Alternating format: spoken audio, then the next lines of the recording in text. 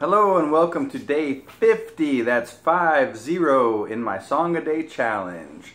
Today I am going to play another song by David Crain. This song is called We Believe.